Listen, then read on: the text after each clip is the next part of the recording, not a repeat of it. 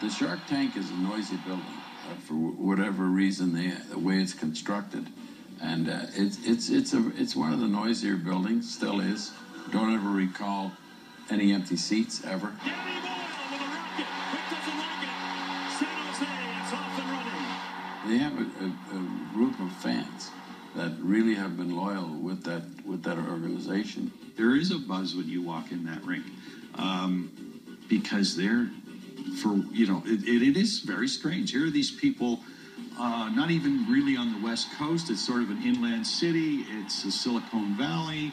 And there you know if you sat down and studied it there'd be no compelling reason why they'd suddenly embrace hockey and be so passionate about it. But they are and that's what makes that building so special. Marleau. It's just how loud it gets in there. The rink is always full. There's 17 and a half thousand people, and they're loud. It feels like they're right on top of you. I've talked to a lot of, lot of players around the league, and they always say the first 10 minutes, it feels like they're under siege in our rink. You know, in a way, San Jose's got a little of the feel just from the noise and the raucousness of, of what you get there when you're there for a Sharks game. San Jose is a tough place. It's loud. I think anywhere where you don't have a lot of success is